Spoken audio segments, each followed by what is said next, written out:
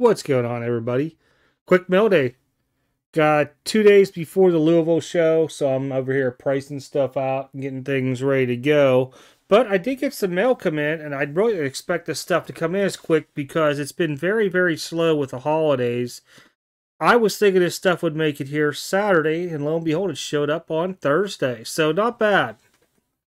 All right, so first we had a Panini. Um, Redemption actually came in. Breece Hall, still sealed.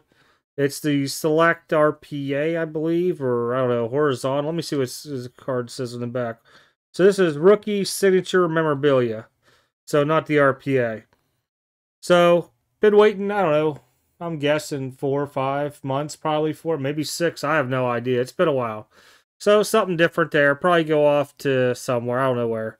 Up next was a pickup I got off of Zoom. Gunnar Henderson.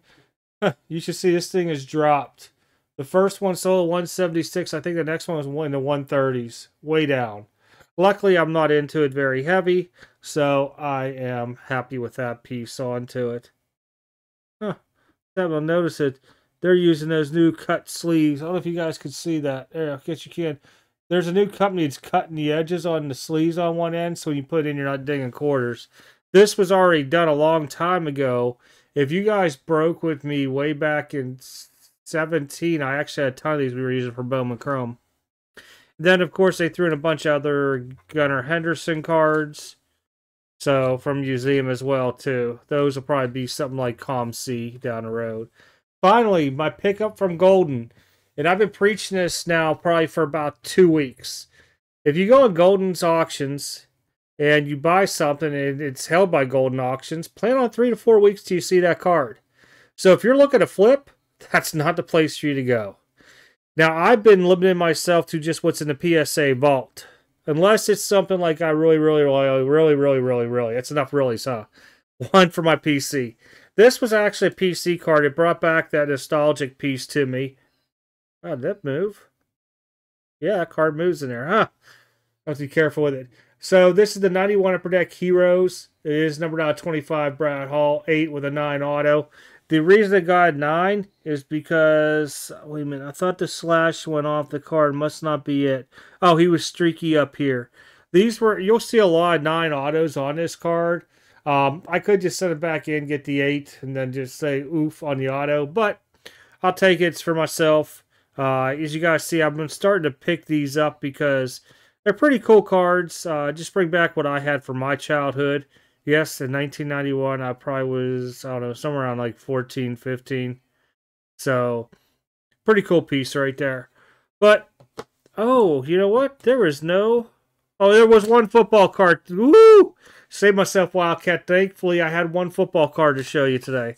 Just saying, have any football for you for once. Well, not for once, but I've been trying to keep it that way. Well, keep it that way. There's at least a football card. Um, other than that, I gotta get stuff, guys, set up for Saturday for the Louisville Card Show. Last one I'm set up for the year. Next year it'll be, I want to say it's January 14th. It's the Sunday before Martin Luther King Day. I will be up in Martinsville, Indiana. Um, first time the guys running a show there, so I'm coming in at least to see how the first time show goes. Maybe some different people, some different vendors. We'll see how that goes there. And then there'll be one right around when I say stop for tax season. Um, with because I still do some uh, clients I've had through the years. Probably looking like somewhere in April, I'll do a show maybe beginning of May, somewhere in that time frame. And then the Midwest Monster 2014. We set up there for two days. You guys come to that, definitely come by and say hello because I'll be losing my mind up there probably. Um, sitting behind there for two days behind the booth.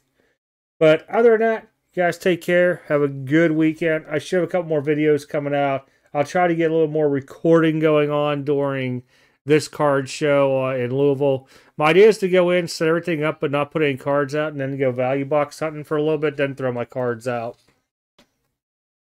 We'll see how that works. Uh, it's not like I'm in a big push that I got to hurry up and sell a lot of this stuff, but at least want to try to get some out there to, you know, if I buy there, that I can kind of like not come out of my pocket. So basically, I sell something, buy something to, you know, cover up the cost onto it. All right, I'm out. I'm jibber jabbering too much. You guys, take care.